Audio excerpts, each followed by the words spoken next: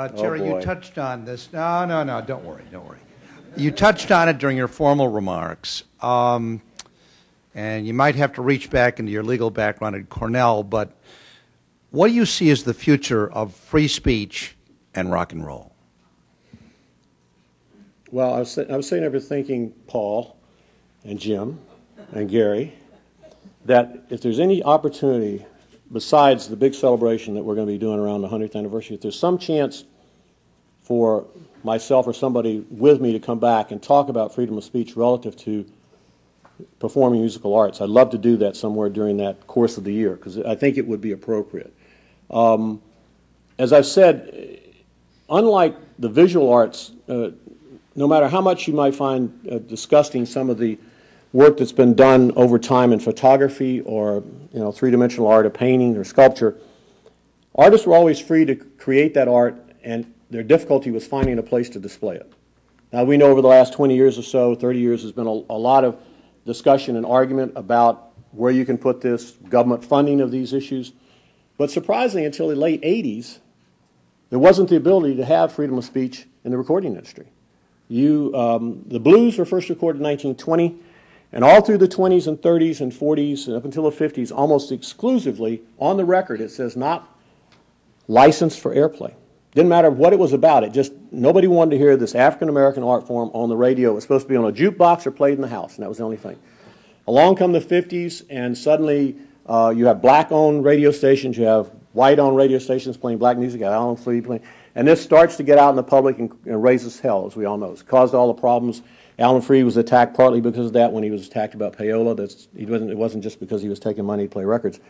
It isn't until the 80s that we really get serious discussions about fixing this, when you have people like Frank Zappa and Dee Snider from Twisted Sister going to Congress and testifying about this freedom of speech should prevail in this musical art form, and it should be up to the consumer to make the decision about whether or not they wanted to take in these words or these ideas. And it really sort of all comes to a head with uh, some of the hip hop groups in the late 80s, like NWA, who will be eligible in a couple of years for induction, uh, who really pushed the envelope, like it or not, about being able to say whatever they wanted to say on a CD, and it being up to the consumer, the mother, the child, whoever bought that, whether or not they would hear it. Um, I think we've come a long ways in that area. I don't see us backtracking.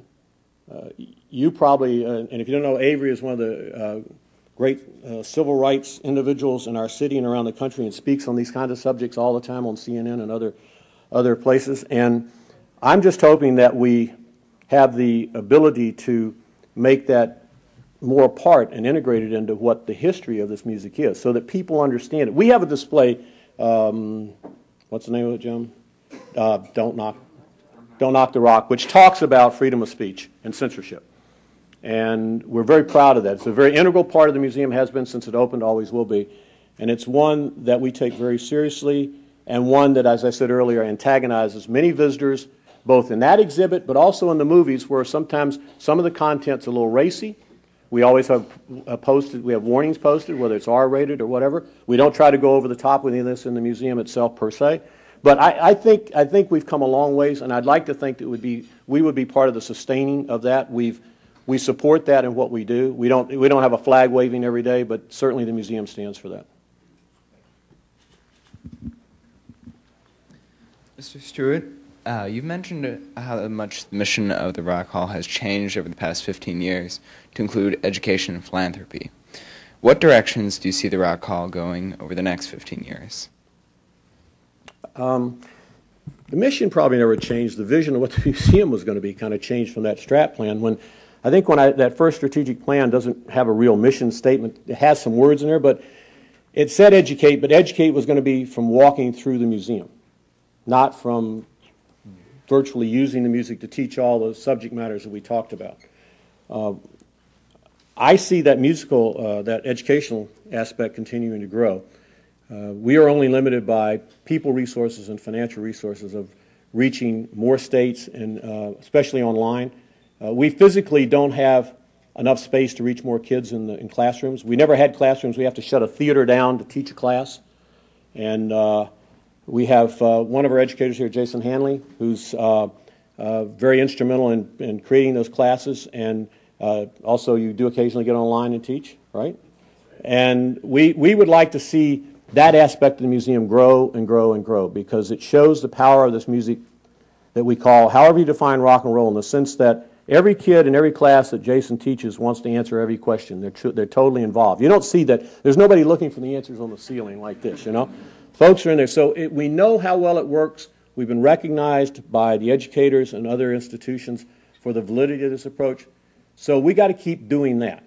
But we need more space to eventually do more. So we need classrooms. Uh, Linda, Linda needs classrooms. She doesn't have enough. So we're hoping to eventually, as I said, connect between the two institutions, build enough uh, uh, flexible space that we can have classrooms and have a, um, a full-time temporary exhibit gallery. When Jim Henke came here, he, uh, he got here before the museum was built.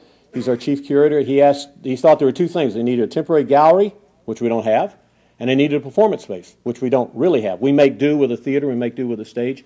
Uh, all these elements need to be looked at when we expand between ourselves and the Science Center, and that will be a joint project that Linda and I will take on together because we're going to have to share that space and we'll have to share the operating costs. So it's much like when we built the library recently, not only did we have to raise the funds for the library, the library costs roughly a million dollars a year to run, and libraries don't generate revenues. They just don't. They don't subsidize themselves. So we had to raise the operating reserve to support that. So when we get ready to expand between the two buildings, we're going to have to raise not only the capital to build it, we're going to have to raise the money to run it. So educationally, we need more space. Um, and uh, I think it's just keep on doing what we're doing. Uh, I think there's a great future for the museum and the ability to continue to build more exhibits, travel more exhibits, and just get this message out around. I think we have, we have a mission that's not going to change. We just have one that we have to do a better job of taking to the people wherever they are.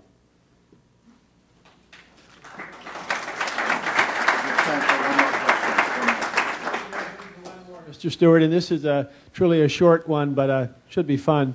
What is a favorite exhibit for you, and why is it especially meaningful in the museum? Well, it's. I usually people ask me a question. It's usually not an exhibit. It's an artifact or two, and I have two big favorites. Uh, one of them is down right now because of the redesign, but it's um, Howling Wolf didn't believe in banks. He's a great bluesman, which put him ahead of the curve. Sorry, Paul. Uh, and uh, he used to keep all of his cash in a suitcase and carried with him everywhere he went and put underneath his chair. And when we went to get material from Howling Wolf's widow, he had passed away by then, when the museum opened, our curator went up and got the instruments and the clothing and all the normal stuff. And she said, You forgot the most important thing. And he says, There's Nothing up there but an old suitcase. So we went back and got it. And when he brought it down, he told Mrs. Uh, Burnett, uh, the widows, that, you know, that it's full. What's in there? And she said, I don't know. I put it up there after he died. And so they opened it up with great anticipation. And I'd love to tell you it was a bunch of money and papers. It wasn't. It. This is the riddle we'll never solve. Howling Wolf, the great bluesman, had numerous Barbra Streisand piano songbooks in his suitcase. so.